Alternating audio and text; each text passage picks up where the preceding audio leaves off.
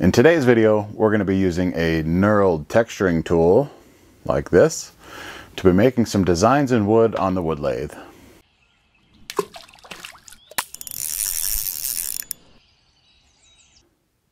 Welcome, welcome. One of the ways that you can spice up your wood turning and make it interesting is by the use of texturing. And I've been playing around with this knurled texturing tool that I just got. And it's called a knurled texturing tool because it has this knurling bit in the end that was originally used in machining. In this video, I want to show you how I would use this tool to make a few different elements that will hopefully help you in your wood turning. I'm Jason Geiser, and this is Geiser Wood Turner. Let's texture some projects. Today we're going to start out with texturing a spinning top.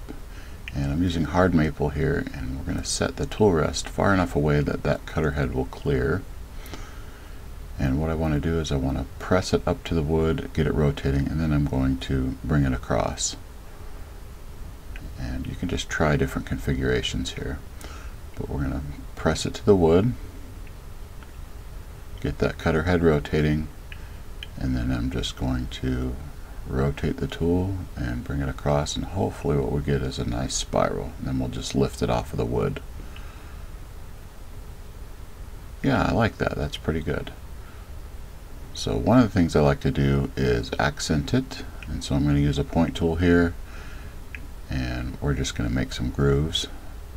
We'll put one here and that's just going to define where the end is at I can't really see where the other end is at so I'm going to stop the lathe and then we'll use the point tool there and just put some lines. What that does is just kind of help define where your detail is at. Then you can take a bristle brush or a toothbrush or something like that just kind of run it in there to clean out all the dust that the cutter has left. Now when we move on to the upper side of the top that you're going to see, there are some challenges and one of them is that it's really hard to get in there and get your cutter head in place because the tool is a little bit bigger than what we want it to be. So you have to be careful with the upper side here to make sure it's not too flat. You kind of have to angle it up a little bit so that you have room to put this cutter head onto the top. Either that or you're going to have to cut away a little bit more material so you have a little bit more clearance. So I'm going to rest the cutter head on there and then rotate it out just like we did before and hopefully we get a similar spiral pattern. And I'm turning somewhere around a thousand RPM because the RPM does matter as far as um, what kind of pattern you get in this configuration. So when you're cutting with it sideways, it'll make a larger pattern if it's going slower and kind of a smaller pattern if it's going faster. So I'm going to take the point tool and just define the edges just like I did before. Just by putting some grooves in.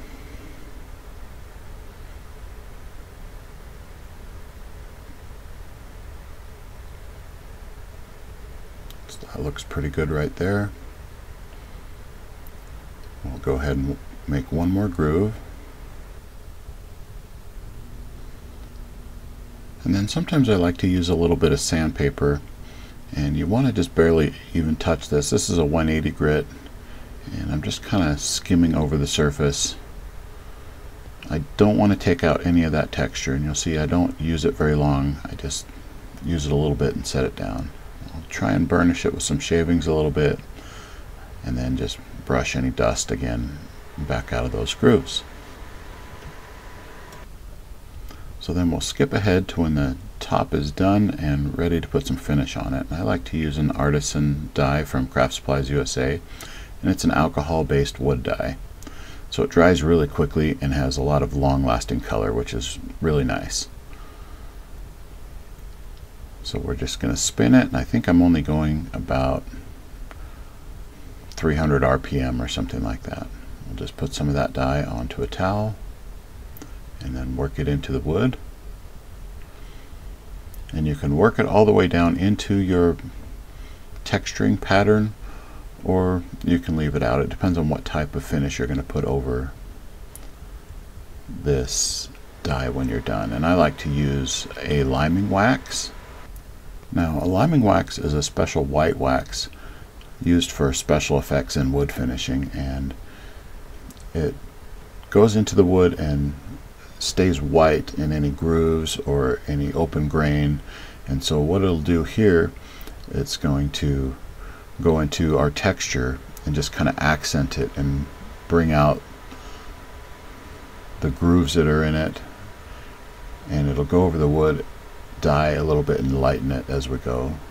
So this especially works well on darker wood dyes so let's go ahead and put some wax on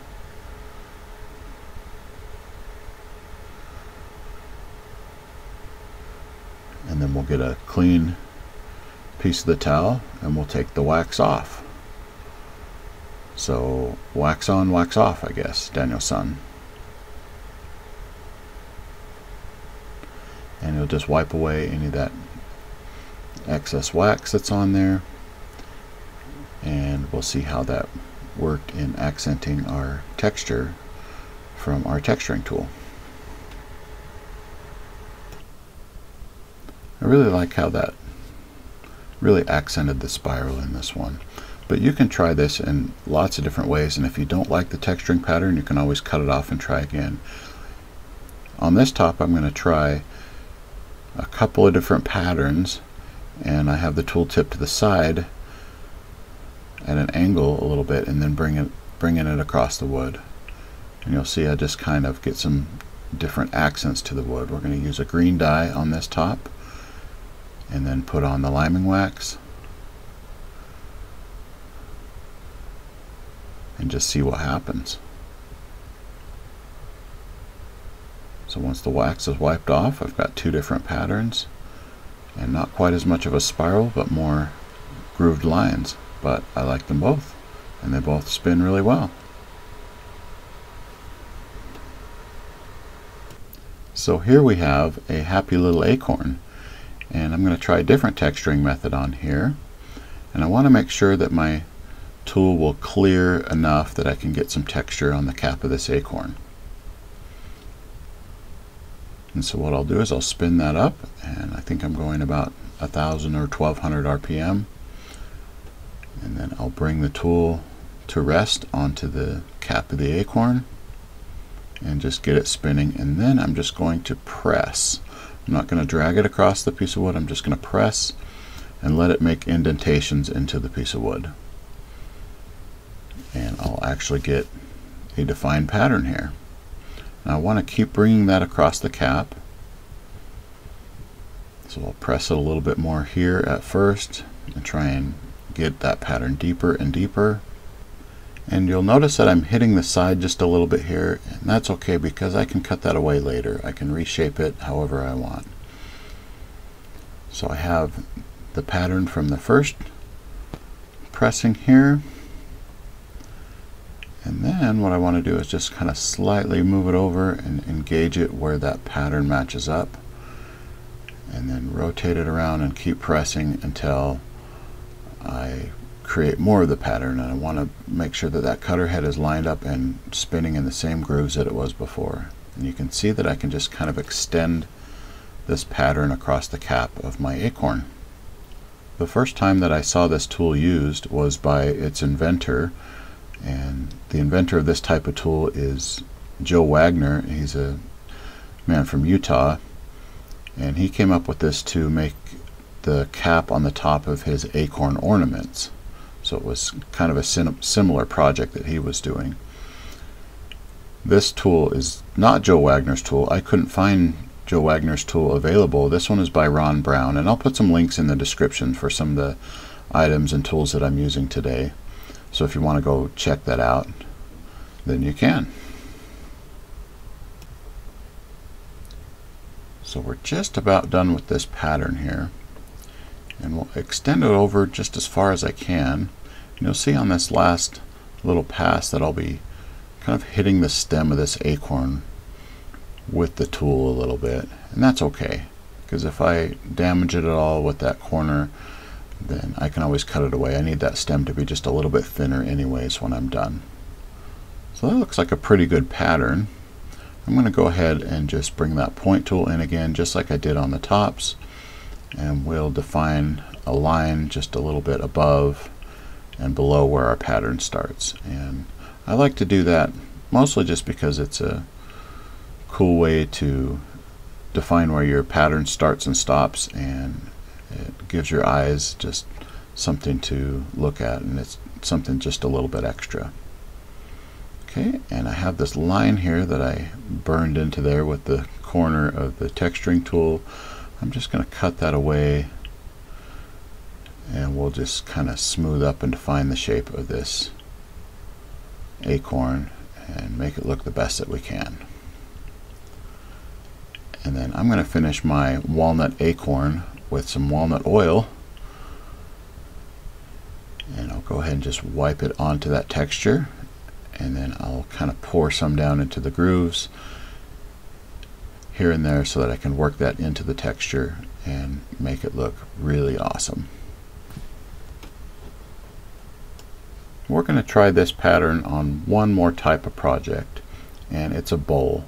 And I haven't hollowed out the inside of the bowl yet because I want this to be as stable as possible as I press this tool into the rim of this bowl. And we're going to do the same type of texturing pattern that we did on the acorn and you'll see that the grain of this figured poplar that is just beautiful and I don't really need to accent it but sometimes you just want to add a little bit something extra to make it an interesting piece. So we're going to go ahead and just press and make a pattern and then we'll just line it up and press next to it we'll just keep going with that pattern and make a small band across the outside rim of this bowl.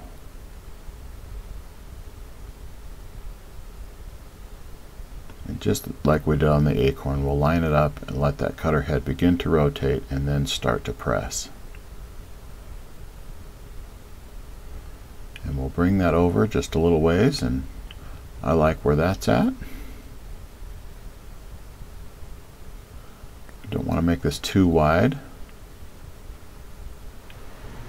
And a little bit closer you'll be able to see just kind of what that pattern looks like.